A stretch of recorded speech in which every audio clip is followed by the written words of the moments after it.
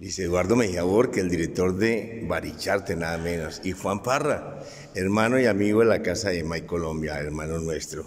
Luis Eduardo, ¿cómo te sientes trayendo estos personajes tan importantes aquí a Baricharte, al Salón 13? Bueno, Jorge, eh, muchas gracias. Ya siempre hemos estado con May Colombia. Eh, este año 13 años, hoy tenemos al gran caricaturista Juan Parra, que hace un trabajo espectacular sobre la temática eh, de la vida cotidiana en Colombia.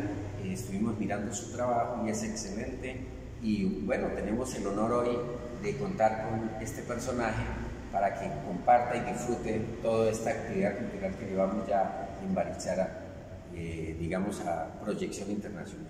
¿Cómo ve Barichara, maestro? Ver, Cuéntenos todo. Ante todo, antes de dar una referencia sobre este espacio tan hermoso que se llama Barichara, eh, quiero decirle a la vida que para mí ha sido un regalo eh, de, la, de, de, la, vida y de la naturaleza eh, haberme reencontrado con mi amigo Jorge Torres. Pues teníamos aproximadamente unos 30 y péguele de años Total. sin vernos las caras, pues apelando a las tecnologías, pues sí nos hemos comunicado por internet y para mí que Ayer fue una grata sorpresa cuando nos vemos en el parque. Casi, Igualmente. Casi ya entró el show.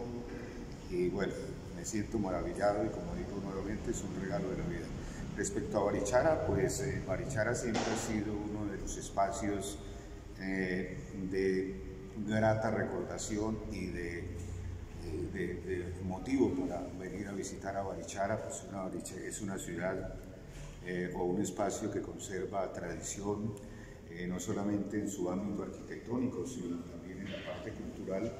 Y pues quiero felicitar a, al director del proyecto Baricharte y a mi amigo Jorge Torres, porque la verdad es que como dijo algún pensador, el arte es la máxima expresión del hombre y la salvación de la humanidad. Y nosotros los artistas tenemos que aunar esfuerzos para que sigan creciendo los artistas y le sigan brindando a la humanidad eh, sensibilidad y belleza y un acercamiento hacia lo espiritual a través del arte. Gracias, maestro. Gracias, Luis Eduardo. Muy amable, ¿no, maestro? Un honor nuevamente volverle a estrechar la mano después de tantos años. Gracias.